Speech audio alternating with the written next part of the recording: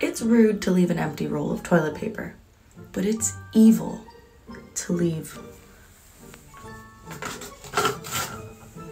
a single sheet.